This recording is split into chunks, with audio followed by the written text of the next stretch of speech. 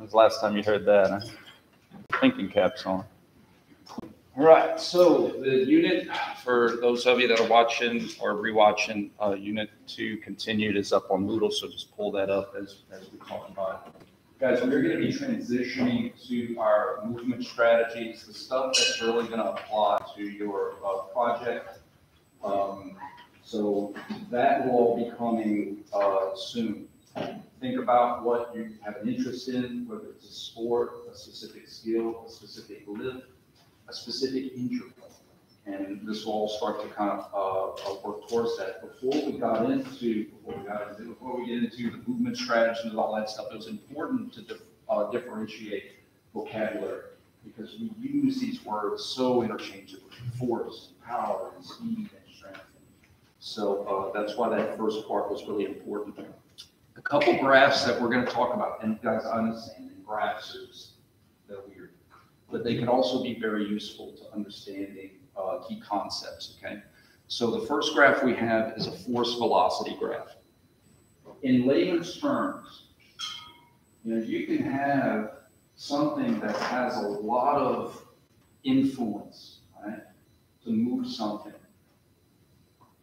But a glacier going super slow might have a lot of force to carve out a mountain, but it's not gonna crack an egg. Like, It's going so slow, know? So there's almost kind of this useful force.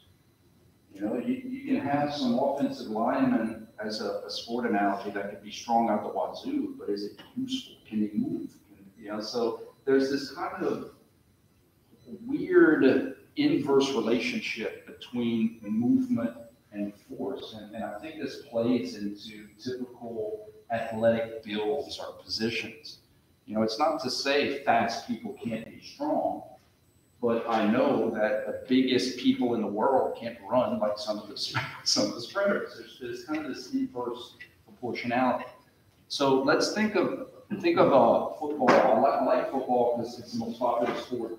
Um, don't say world, mean soccer. I get it, but in America. Um, but you think about some of the positions, like um, defensive back, super fast, fastest people on the field usually. And then you think of the strongest people on the field might be the linemen.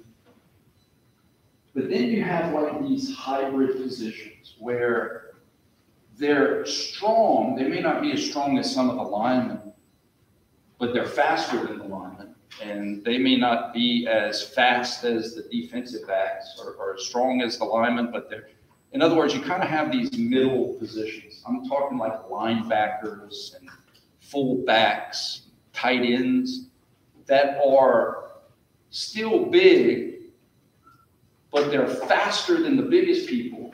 They're slower than the fastest people, but they're a lot stronger than the fast. So you have like this kind of hybrid in the middle. And I remember a, a story, or a story, I remember a story. I remember when, when I was an athletic trainer in football, at the last practice of the year, we had this tradition where our senior players would get to pick any underclassmen. They would hold the dummy up and they'd get to take a four run start just, you know, casse him as hard as they could. And then it wasn't like it would hurt them, but the fun part was that the whole team would line the things and the person didn't couldn't see them coming. So it was just that anticipation. The defensive backs, they were fast, but they weren't as big. The linemen were big, but they weren't going very fast. The people who put the biggest pops were the linebackers and the tight ends because they had this combination.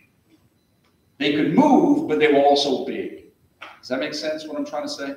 So on this curve, that's all of that story is what I'm trying to say here. You have this relationship between force and speed. And I'm going to give you a very easy example that's going to make sense. If you're trying to do a curl as fast as you can, the fastest you can flex your elbow is the only mass, the only force is the mass of your hand. If you're trying to do as fast as you can. Because as soon as you start putting dumbbells, it's impossible to go as fast as when you just were unloaded. You put a five pound dumbbell, you may still do it fast, but you won't do it as fast as when you unload it.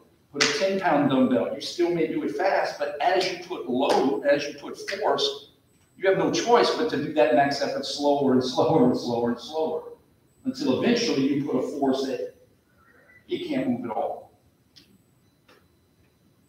That's what this relationship is. That as you produce maximum load, the, the, the speed of it has to get less and less and less. You do a 40 yard dash with just your shorts and your shirt, and then you put on a whole set of football equipment. You're going to run faster. So that's all I'm trying to say. You put on a weighted vest, you're going to run faster. Of course, as, as, the load gets more, your speed is going to go down. And inversely, as your load gets less, your speed, you can it faster. The magic here, though, is what lies in the middle of force and speed, and that's power. Because as we learned in Unit 1, power is how much time did it take you to do that big force? It's a combination. Power is a combination of force and speed. You could be strong, but if you're slow, you're not going to be powerful. And you could be fast, but if you're not strong, you're not going to be powerful. Does that make sense? And to show you this relationship between force, look at this graph. Now they, they, they flip the x and the y axis, but the concept is still the same. Optimal power lies in between force and strength, force and load.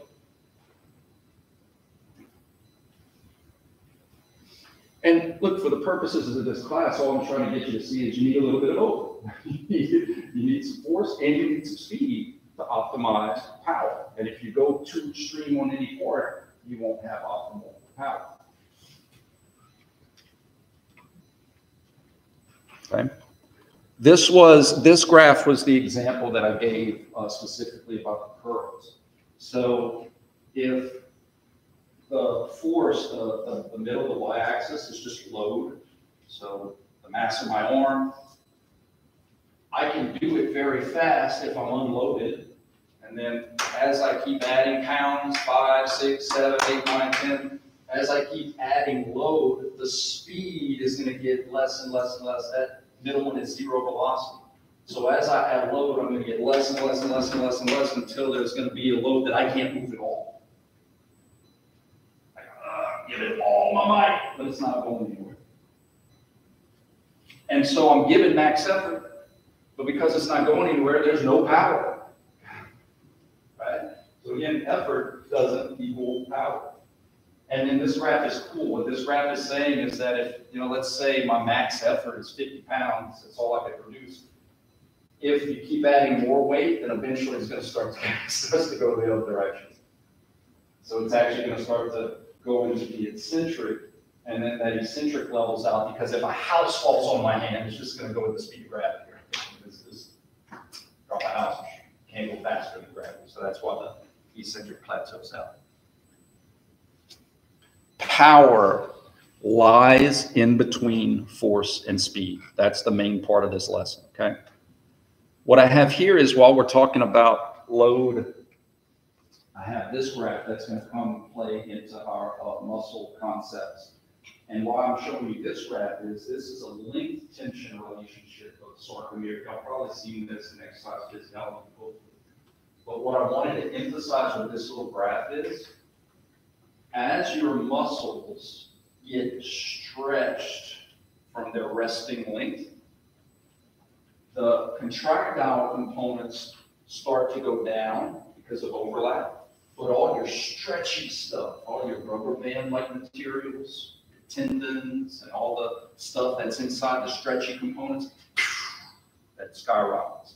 So that, that, that takes up the slack. So when you're stretching or your, your muscle gets uh, longer uh, than normal, you got all that stretchy stuff that can kind of take that place uh, for that load. And that's the stuff that actually gets damaged and, and, and, uh, and that you have to repair is the stretchy stuff. All right, let's get into, so now that we talked about the graphs, let's get into the movement strategies. We have typically two types on a, I love continuums. We have two main types, two extremes of the continuum of movement strategies that we call it. Okay? One is when you're trying to apply a maximum force on something. As, as much energy as you can onto something else, usually through our feet or our hands. Okay? Our strategy for applying maximum force or energy onto something else is called a simultaneous movement strategy, meaning multiple joint motions moving at the same time. It, it, it makes sense that if you have multiple joint motions moving at the same time, that means multiple groups of muscles influencing those joint motions at the same time, all hands on deck, trying to give as much force, right, left, elbows, shoulders, whatever you got, all moving at the same time. If you're trying to give a max effort, think of it as like a bench press or a squat. If anybody's ever maxed before, which I'm assuming most of us have, you're not going to do it fast. In fact, if you're doing a true max, usually it's going to be barely. So again, it's that it's that duality between max effort and slowness. If you do a max and you move it quick, that was not your max. You could put more weight on. Does that make sense? Okay. Multiple joint motions moving at the same time. Think about your movement strategy if you were going to push something very heavy. You'd probably like prepare your lower extremity and your upper extremity, and you're trying to everything all at the same time. And usually when you're trying to move something heavy or something, it doesn't matter if it goes fast, you're just trying to move it. Speed isn't really a factor when you're just trying to move something with max effort. Okay? So, human movement strategy for maximum strength and or accuracy, we have simultaneous strategies. Now, and or accuracy when you're doing max effort on something with maximum strength, you want to be accurate.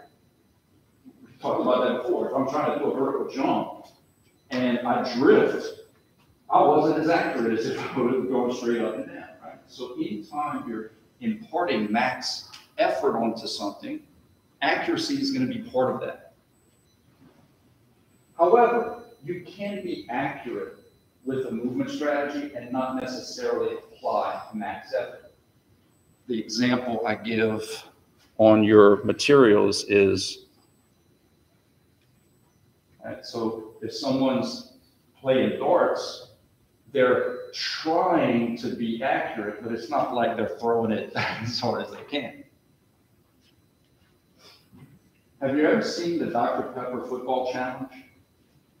Right? Do those players that are trying to win all that money, do they this?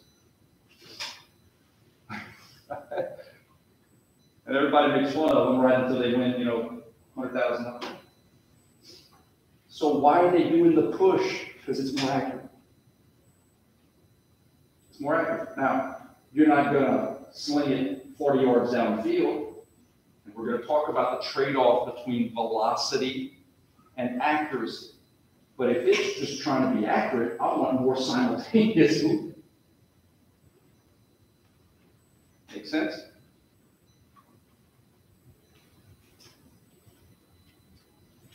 In 310, I talked about these, this trade-off a lot. What you gain in stability, you lose in mobility. Life is about trade-offs. In movement strategy, what you gain in strength or force application or energy on something, what you gain in that, what you increase in that, you're going to lose in speed. And what you gain in speed, as I'm going to show you, you're going to lose in accuracy. Can you imagine going to a sports bar and going to the dartboard and doing this?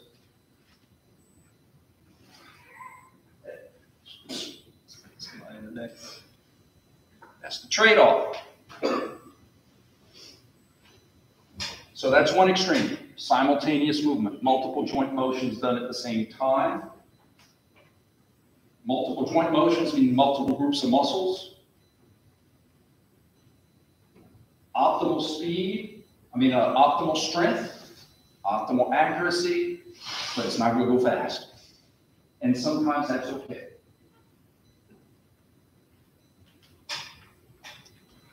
Let's look at the other extreme sequenced motion, sequential movement. Sequence means not at all at the same time. Sequence means something is done, then something else, then something else, then something else.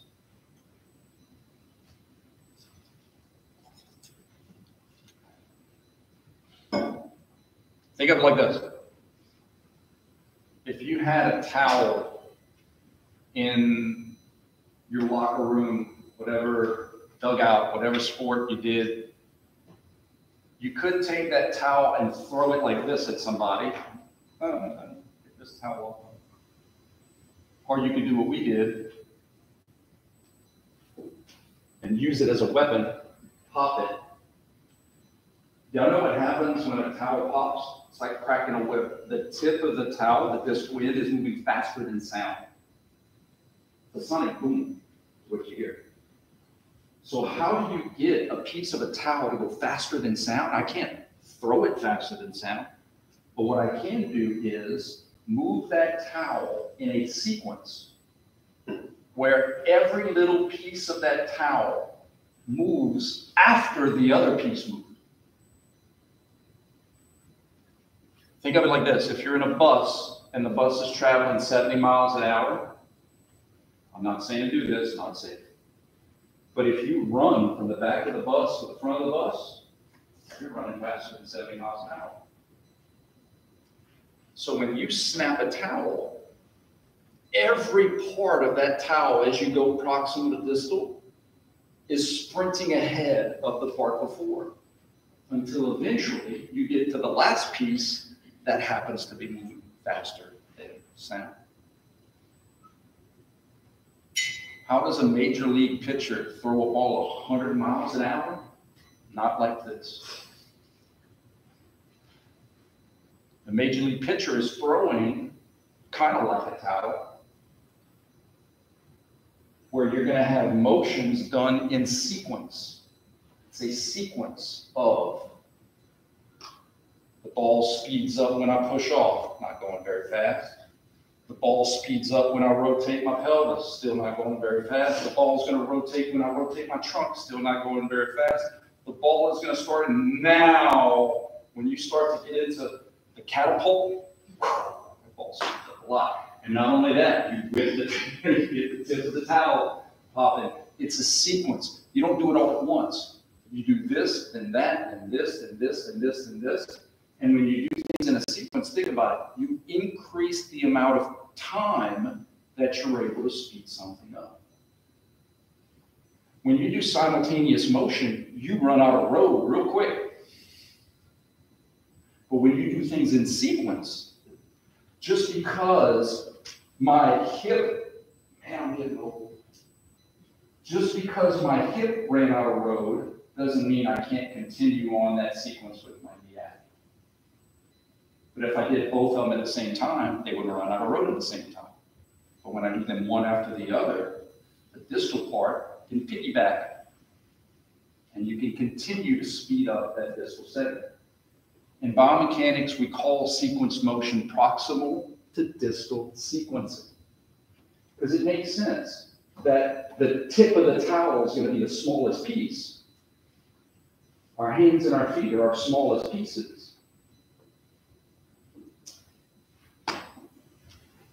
And if you're going to make a baseball go 100 miles an hour, that means the tips of your fingers have to go 100 miles an hour.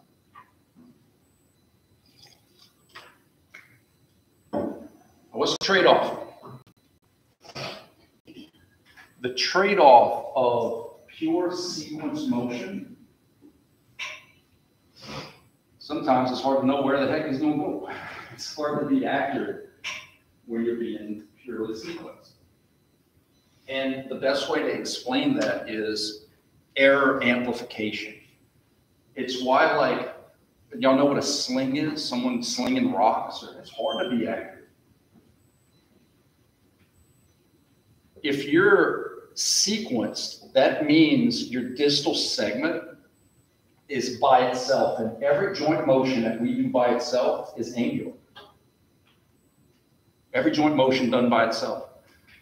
When I do a joint motion with something else, like in simultaneous, my distal segment can be linear. Because my elbow is trying to take it this way, but my shoulder's trying to take it that way, they can cancel out each other's rotation and they can summate each other's translation. But when you're doing one joint motion at a time, everything is angular. And when you're angular, you better be perfect in your release.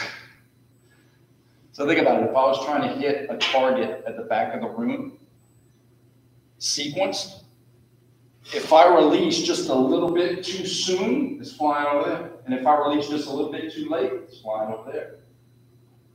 When you do one joint motion at a time, error gets amplified via distance or within your body. Like if I was a little bit too early in my hip rotation, that error is going to be amplified down the chain. So it's hard to be fast and to be accurate. I'm going to give you several examples.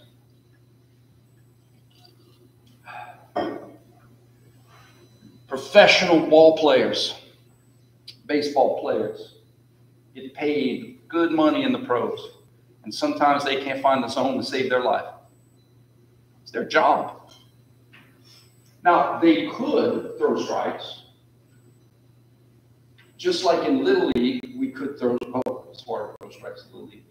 But if a baseball pitcher only tried to throw strikes, what do you think his ERA would be? Or a softball player for that matter? In other words, eventually it becomes not just throwing strikes, it's getting outs, right? So things like velo and things like movement but when we were, I remember when I was a kid, it was all about throwing strikes because we didn't have the data yet at that age. And we didn't have the strength to really hit. So it was just don't walk people. So you didn't have to throw hard. Just throw strikes. You guys it. But eventually, you get more data, you get stronger, and just throwing strikes meant, and you were just giving up grapefruit. So then it became get outs you had to not just throw strikes, you had to start getting outs. Whether that's throw harder, change speeds, be more accurate. And it is tough to be fast and accurate. Not impossible, it's just tough. In football, kicking a field goal like it's exponential. The further you go back, the harder it is to make it. Kind of what I'm talking about. Because you know to make a 60 yard field goal, you got to make that ball go fast. So if you got to make it go fast, that means you need to make your foot swing fast.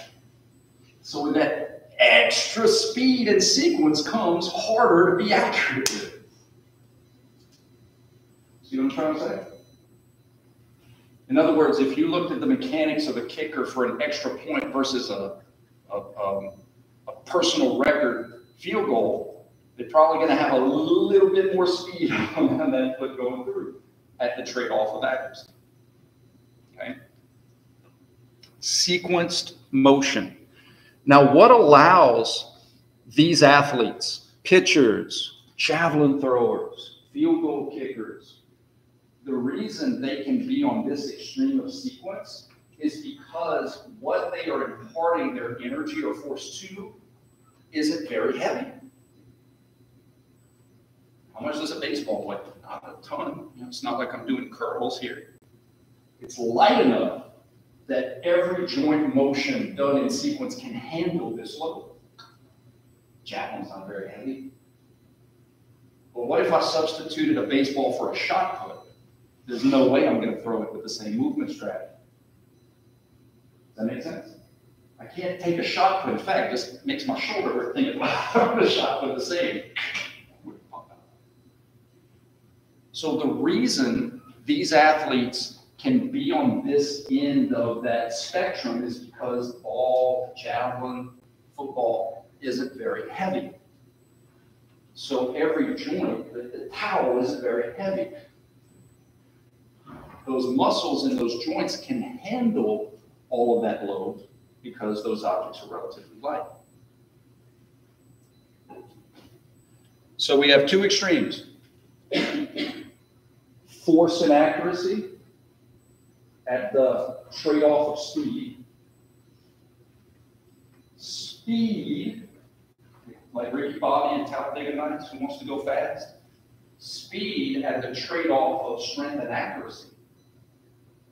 That doesn't mean you're not going to give effort and energy. I'm just saying the external object that you're applying your force to isn't heavy enough that would get in the way of you using a sequence move. My wrist muscles can handle the baseball's load. So these are the two extremes. A majority of everything lives in the middle. And that's where optimal power lives, somewhere in the middle. Optimal power. Now, guys, of course, power is going to apply to everything. In other words, if unless you're giving a max load and there's no movement, it's physiological work, but my point is, is that power is going to live somewhere in everything. I'm talking about optimal power, right? Remember we did the graph, optimal power. You've got to have some of both You have to have a little bit of both. You got to have force and you have to have speed. That's the, the equation for it, right? How much time did it take you to do the work? So I want to show you some examples of some powerful type movements where we incorporate a sequence of simultaneous movements. Think about where in the body we can have simultaneous options for motion. Lower, upper, right? So you think about a shot putter. The shot putter, maybe if it was a Marvel character, could take the shot put and throw it like, like a baseball person. But it's so heavy that you kind of have to adopt a different strategy the heaviness of it is why you kind of need some simultaneous stuff because you can't handle just the shoulder or just the wrist by itself. You kind of have to do shoulder and, and elbow at the same time to be able to handle that load. But there's also a speed component because in the shot put, aren't you trying to go as fast as you can so that it goes as far as you can? Right? So it's something heavy that you're trying to move fast. You see how we draw in from both of those extremes? The powerful task. So notice how the shot putter, whether you spin to develop the speed, but notice you're going to have lower, and then after that, you're going to do upper. You know, you're not going to do it all at the same time. You're going to speed it up with your lower, and then continue that sequence with the upper. So in essence, you're trying to make something heavy go fast.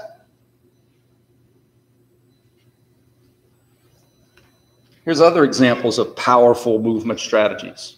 Sprinting, swimming. It's all in how you look at it.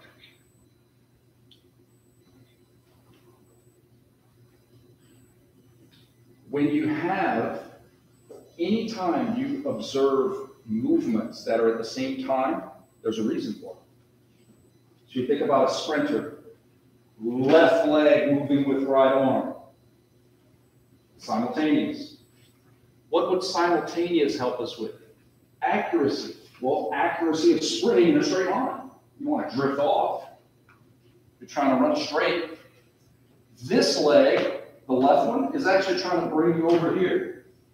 And the right arm is trying to bring you over there. So if they go at the same time, they can cancel out each other's rotation and keep you going accurate and straight.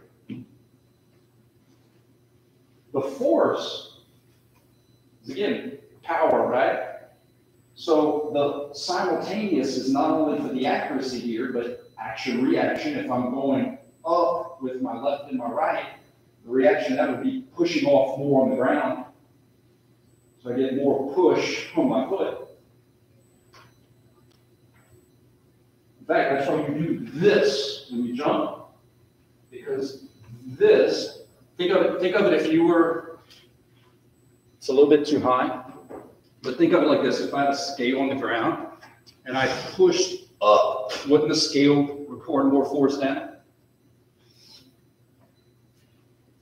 It's not as much because I don't have anything solid, but it's the same concept. That if I give a lot of force up, the reaction is going to be me pushing more down. So that's the simultaneous, but what's the sequence? Well, left leg, right arm, followed by right leg, left arm, followed by left leg, right. You see the sequence. The sequence is what's going to make me go fast. This, followed by that, followed by this, followed by that.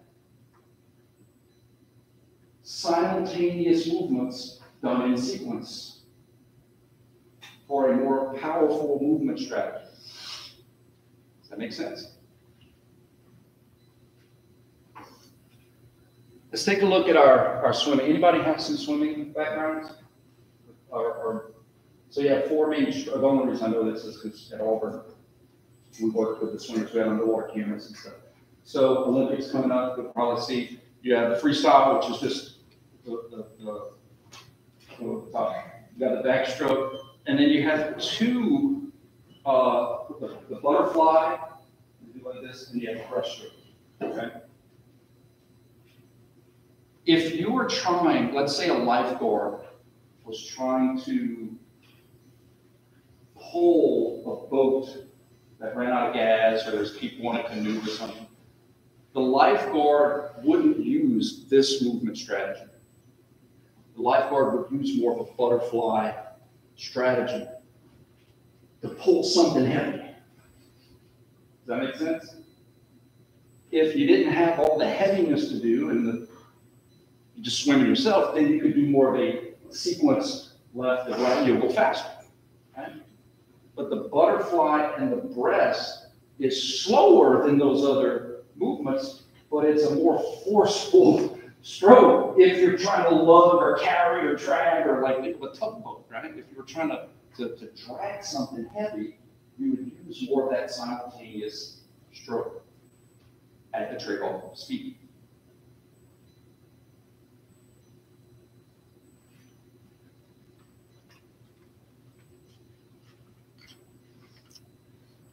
Beginners.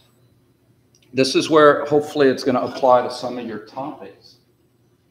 Beginners typically, even though it may be a sequenced skill, like Matt, you go to Topgolf, hit the golf ball like Max, you know, off the tee, is more sequenced. But if I'm hitting for the first time, I'm going to have more of a simultaneous strategy because I just want to hit the golf ball. I want to whiff. I'm trying not to be embarrassed. I'm not just going to be, I'm going to be like, all right, take it easy. Nice and easy, just hit the ball. Right? You get on skates for the first time, roller or ice skating, you're probably not going to be like, Shh, shh, shh. you're probably going to be like, get the hang of. Beginners, kids, they're not strong yet. So the ball to them is actually a lot heavier than it is to us. Think of relative strength. So beginners typically use much more simultaneous strategy for any skill. Weights, sports, activities, movements, and you have to learn sequence. Because think about it. It's a heck of a lot easier to tell everybody, okay, all at once, one, two, three, go, versus, okay, here's the plan. You go, then you, then you, then you, then. What? It's hard to do that with anybody, including your body. So people will learn to be sequenced. But let's look at, I have some, some others in here too that I think are cool. Uh, the baseball, you know, imagine, um, You know, even in the, it's in the pros, you know, let's say a, a ball, a pitcher throws, you know, 95, 96, but it's 3-0, they're just trying to find the zone. They're gonna take a little bit off of it if they're just trying to throw a strike. And that's the trade-off I'm talking about. Being a little less sequenced is gonna make you a little more accurate. A golfer trying to yank a tee shot 500 yards is probably going to be more sequenced versus a putt, right? Or, or chip shot. You're not going to do a short chip shot and be like, right? It's going to be less sequenced to be more accurate.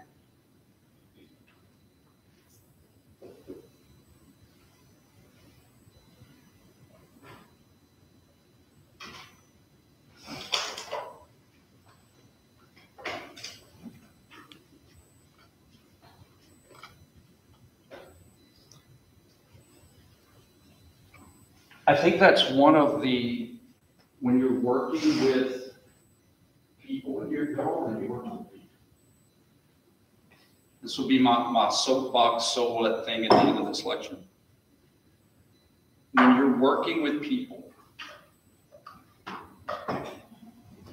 there's going to be a lot of things that you're going to have to remember.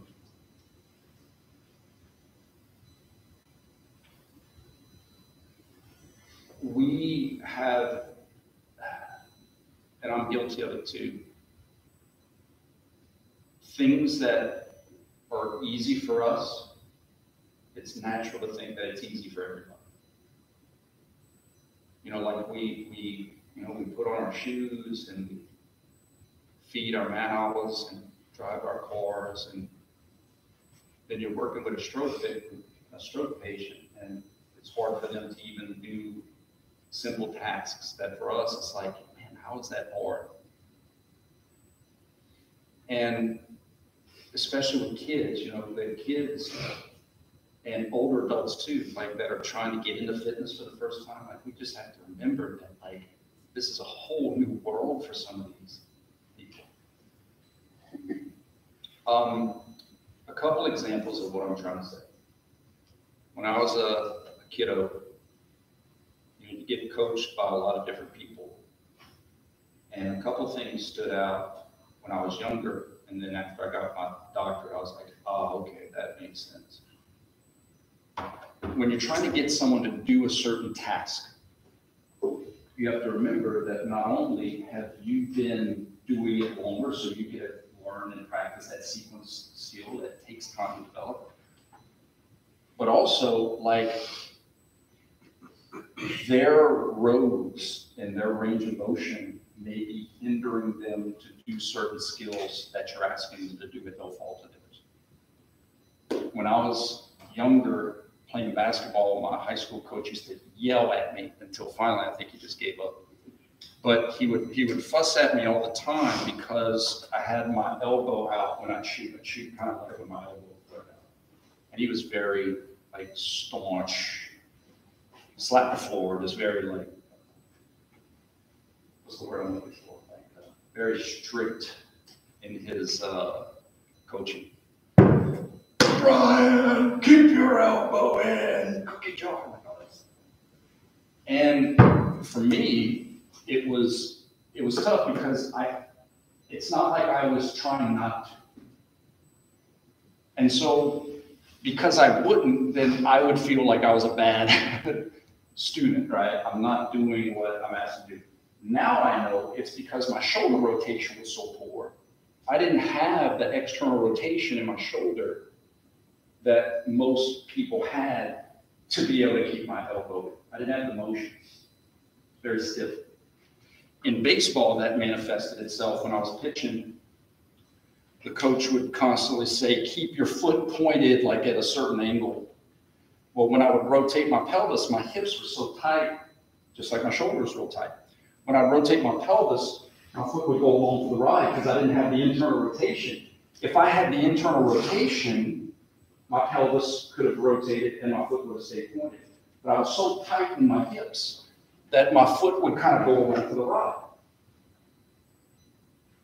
And the coach would, Brian, how, how many times in that match did you do this? It's a simple request. Just keep your foot pointed right there. So I'm feeling awful. Like, man, I can't, you know, I'm, I'm stubborn, or I'm, he's gonna do it his way. At Auburn, I still can't believe we did this, but it was a learning experience. We offered, the Auburn had a really good swim team, like Olympians on that team. Coach Marsh, our swim coach at the time is now the US, works with the US team, but we had Olympians at Auburn from all over the world. And during the summer, they would have these camps for kids. And we would use our underwater film to record the kids doing the four strokes. And then we would use Dartfish, which is a coaching tool, to sync those kids' strokes with Olympians. So the kids could watch the greatest in the world and compare themselves to. I mean, these are Olympians. Like, it took them years and years. Not only that, they're built like dolphins, but years of learning these sequence motions. And here the poor kids are splashing around. And it's like, just do what they're doing, kid. It's a lot more nuance than that. Or my last analogy.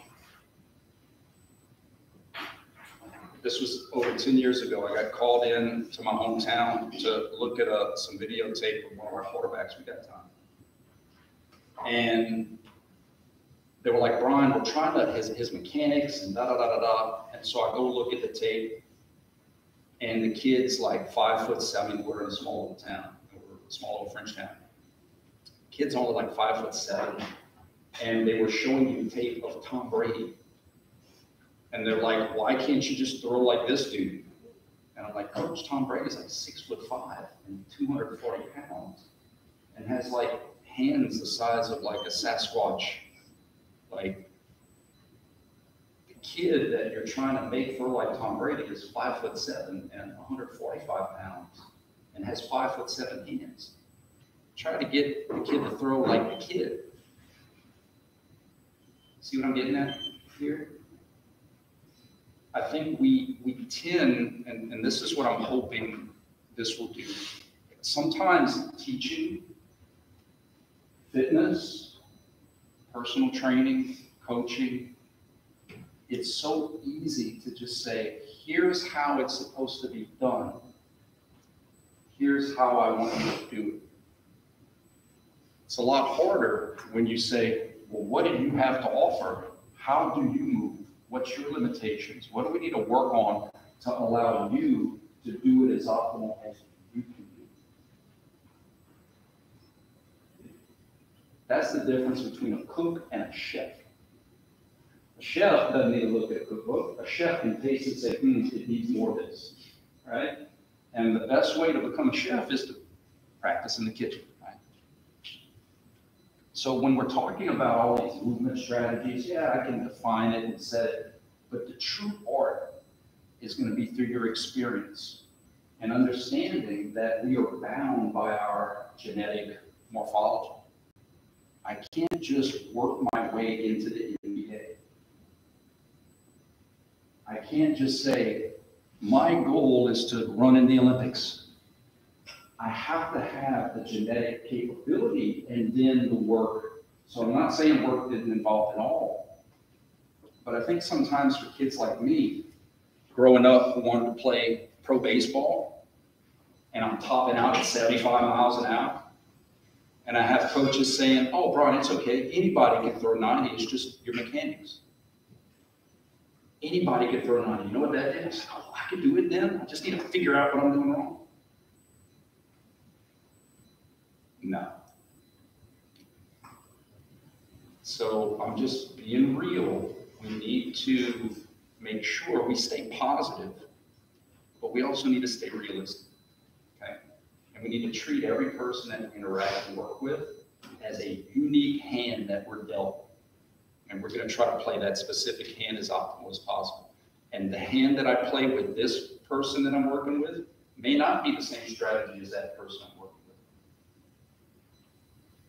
with. Okay? Don't be a cook, be a shepherd. All right, we're going to apply more of this stuff later. But think about how these movement strategies would work in your field, in your area of expertise, a specific lift, a specific task, a specific skill.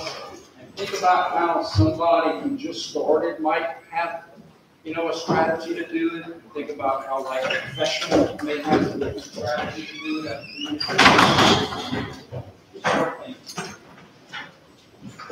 Thank you.